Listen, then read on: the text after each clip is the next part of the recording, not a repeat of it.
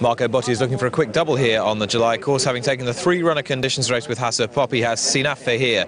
Uh, Marco Hasso Pop, well, I suppose he was the only one that went on the ground, but you must be pleased nonetheless. Yes, he, he won nicely. Uh, I was a bit concerned, you know, the ground. I mean, he won uh, uh, 10 days ago at the Yarmouth on good ground. and today, obviously, different uh, condition, but he, he, he, went through, so really pleased. How high do you think he could go this year? He, I think he's a stakes horse, uh, definitely, but um, probably today is more small field, uh, you know, it just uh, is you know um, done really well for him, you know, just to give him a big confidence and before we step him up in class. And I thought in a mixed bunch in the paddock, your horse Senafe stood out as one of the as one of the nicer types. Would you agree? Yes, I agree. She's very tough. Uh, she won a Folkestone, uh, a maiden in good style. Uh, again, it's a two-year-old on this ground. You never know, but uh, in my opinion, uh, she she should handle uh, you know the ground, and um, trip is fine. So so she's in good order. Confident as you can be. Yeah. Marco, good luck. Thank you. Cheers.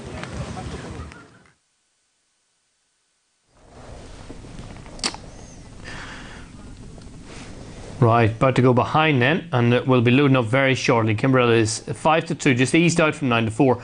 Hakon is 7 to 2, 4 to 1 Oasis, uh, Oasis Cannes even. Rated is 6 to 1, 8 to 1, and bigger than the rest.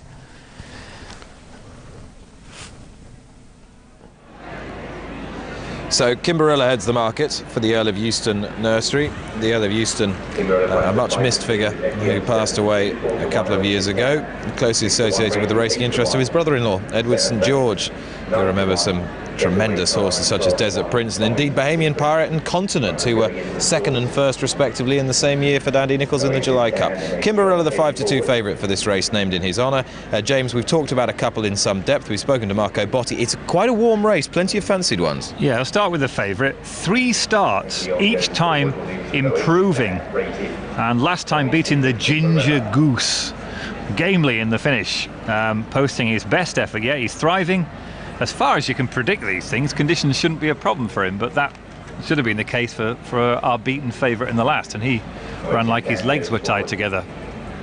Um, your pick for the race is Echion? I like Echion on the basis of that Salisbury form. Uh, there are plenty of these improving, and the ground's a massive imponderable, really. All in then for this nursery is Richard. And they're off and racing. And uh, from the stalls, Oasis Cannes jumps out alertly towards the outside of the field, and also Senafe is into stride well, and those two lead early on up the centre of the track, with rated in the yellow colours and getaway car on the extreme right in the cheek pieces. At this stage, Kimberella, who is keen on the way to post, is held up towards the rear behind the grey Tommy's Secret, and Ekion with the white cap buried away towards the rear of the field. So up front, Senafe and Mirco Demuro in the orange sleeves from Oasis Cannes, uh, then rated in the yellow jacket just ahead of getaway car. Kimberella making a little ground, but still a little keen, with Tommy's Secret and Ekion, who's bustled up by Richard Hughes at the rear of the field. Senafe leading from Oasis Cannes as they head on down towards halfway. Rated off the bridle, getaway car now being driven. Tommy's Secret, the grey, with Kimberella and also Ekion, still the last trio. Senafe, Oasis Cannes still travelling comfortably on the leader's quarters. Rated now, push coming to shove. Kimberella making ground for Frankie Dettori in the maroon colours, moves through into third. And then behind these, Rated Ekion still struggling to get on terms.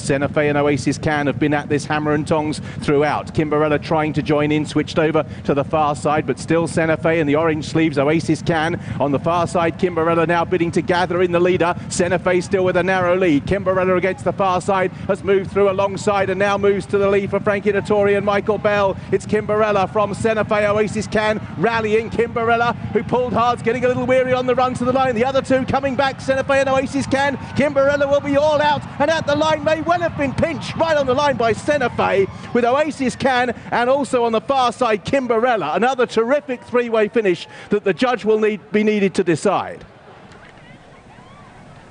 Yeah, spot on, Richard. Cracking finishes all day. That would indicate that in the middle, Senafe's got back up. First number four, Senafe. Second number five. Third number two. So that's the way of things. Senafe wins, beats the Oasis Cannes, and Kimberella was only third. Who would have thought? As we move back to chess.